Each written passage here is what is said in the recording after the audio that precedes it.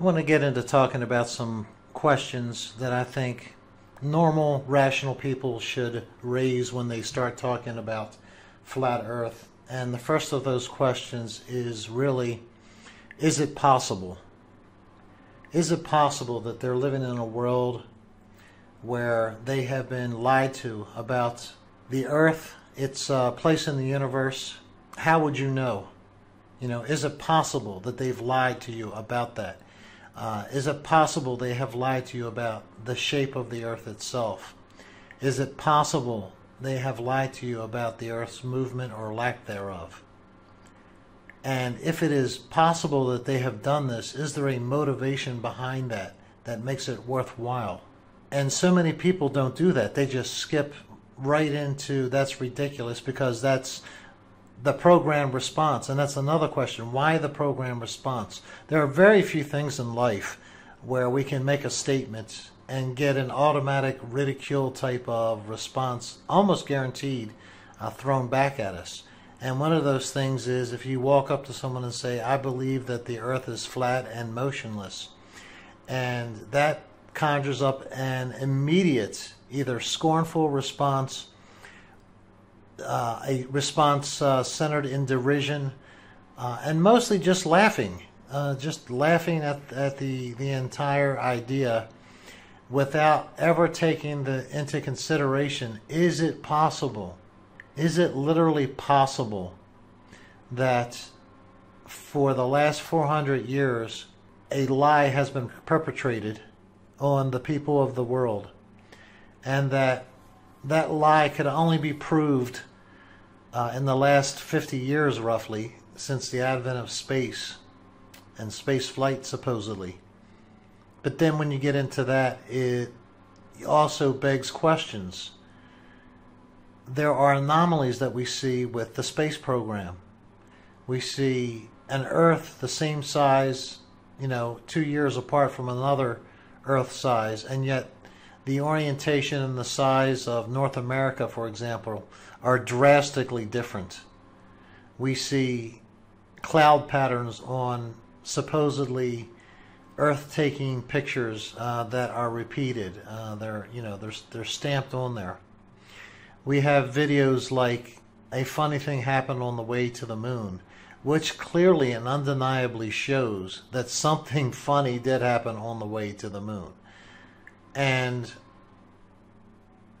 uh, you know when you're in this and have thought it through and understand all the aspects of it or all the aspects you think you can wrap your mind around you do get an idea of why and what the motivation is. There is a strong motivation but you can't get into the strong motivation but you know and look into that without asking two questions first. And the first one is why are you programmed to automatically look at that as scornful and laugh at it when, as I will present, there is no science evidence that was ever uh, presented which would lead you to, you know, go against the century upon century of teaching all over the world that the earth was motionless, flat, center of the universe.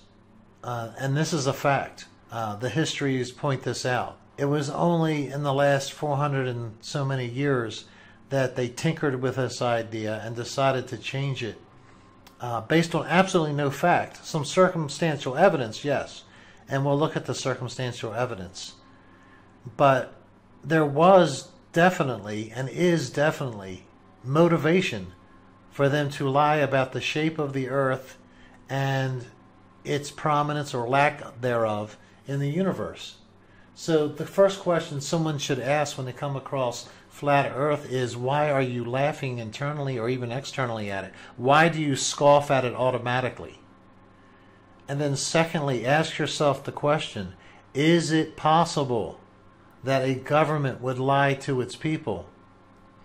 And for those who think that governments don't lie to the people, I would suggest that you go back just a short period of time to the Soviet Union and uh, even to China, and, and, even to China today to some degree, how the politics of the nation itself dictated what the press would say uh, and what the textbooks say. they have their own history. You know, there is a saying that the victor writes the histories, and that is true. And those who write the histories and those who are given power to write the histories have agendas often, and this has been shown many times in history.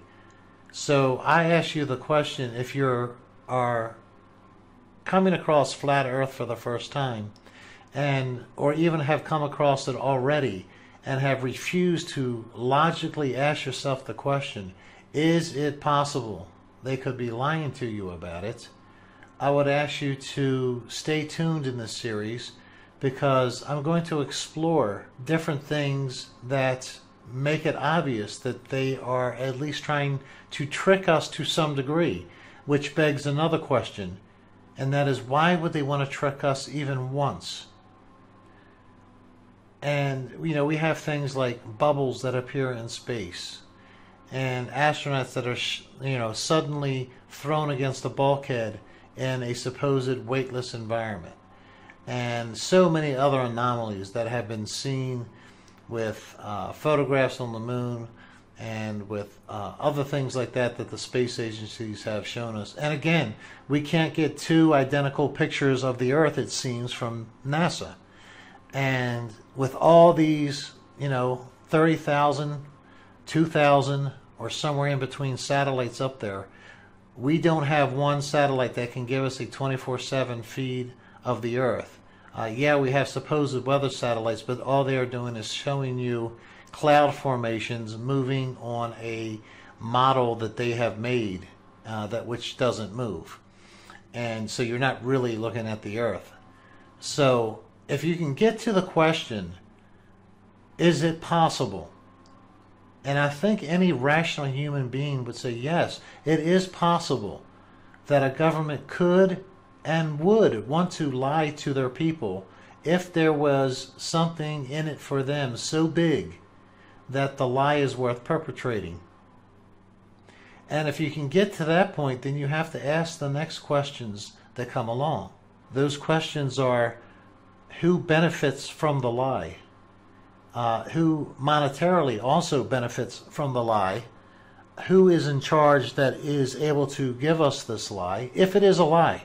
But it should be looked at as a possibility that it could be a lie. And look at some of the evidences and some of the experiments that have been done that are not circumstantial, which show a completely different story than what the official science narrative happens to be. So in this short video right here, I'd like the person to consider who hasn't considered flat earth to be the truth, and that's fine. But you owe it to yourself to know the truth, do you not? Or do you look at yourself as not worthwhile to know things that are truth? You know, human beings are basically all the same. They all deserve the same basic rights. One of those rights, in my opinion, is the right to know the truth about anything and not to be preached a lie from our governments. So if you can get to the point where, yes, it is worthwhile for me to know if they are lying, if there's a possibility they are lying, should I look into it because I am worthy to know these things as a human being. And for that reason, I'm going to be doing a little series here where we look at things like this with the earth that, you know, it has anomalies in it. And you have to ask the question, why the anomalies with all these satellites up there and why we do not have a 24-7 feed from space on these anomalies? And we, why do we have NASA saying that uh, you know before we can go to Mars, we need to learn how to get through the Van Allen belts to get to the moon. That's a direct contradiction to going to the moon in the 1960s. We supposedly figured out the Van Allen problem then, and people will delude themselves and say, well, the spacecraft has to be bigger now, so that's why they can't get through the Van Allen belts. This is this is self-delusion, and that's another question to ask yourself.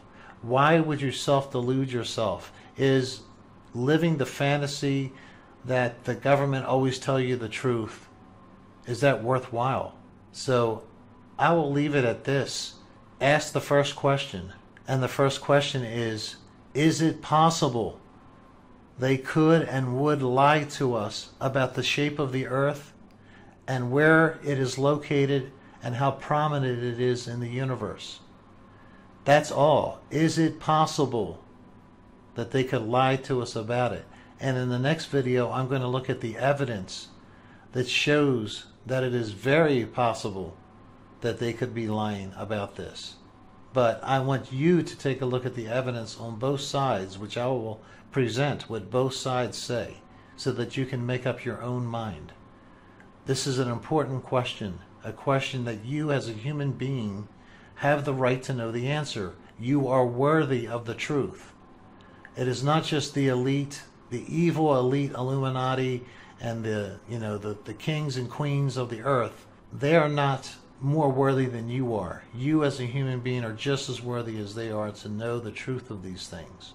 So please ask yourself the question, are you worthy to yourself to even ask yourself the question, uh, you know, is it worth maybe contemplation for a couple of hours to see if you've been lied to? But first, is it possible? And if you don't think it's possible that you've been lied to, if you absolutely don't think it is possible, and you've sat there and contemplated that honestly, then this is not for you. But if you think it is possible, please join in as we go down and look at all the different possibilities and all the evidences which shows us that something is wrong in our society. Something is wrong with what we have been taught. And we are worthy as a people to know the truth. Take care, guys.